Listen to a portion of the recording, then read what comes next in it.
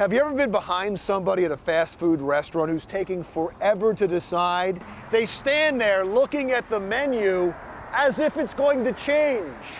Well, that's exactly what Republican voters are like this year. Looking at the candidates as if the menu's going to change somehow.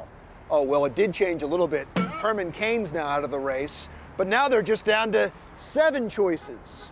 But what if I told you there's another choice? There's a candidate out there who has more experience than anyone currently on the menu. He was a governor, a congressman. He started a billion dollar bank without any federal bailout money, so he has executive, legislative, and business experience. His name is Buddy Roemer, the former governor of Louisiana.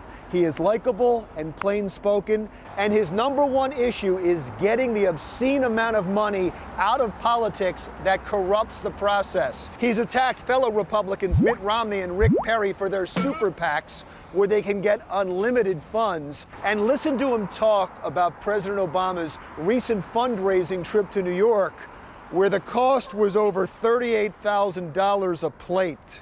And you know who the host was? Goldman friggin' Sachs.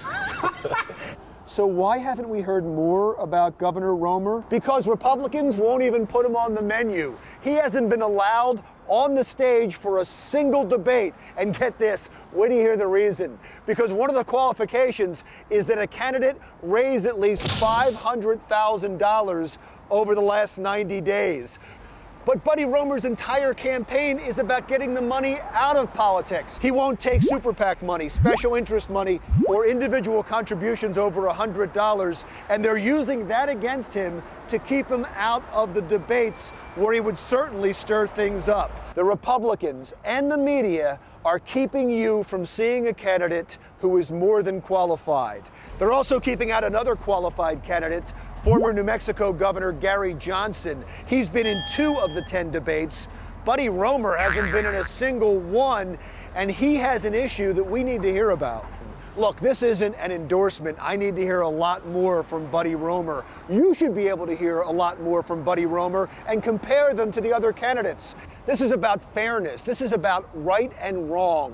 Let all of the qualified candidates debate. Don't keep them off the menu, especially because of money. This is supposed to be about the candidate who can get the most votes, not the one who can get the most money.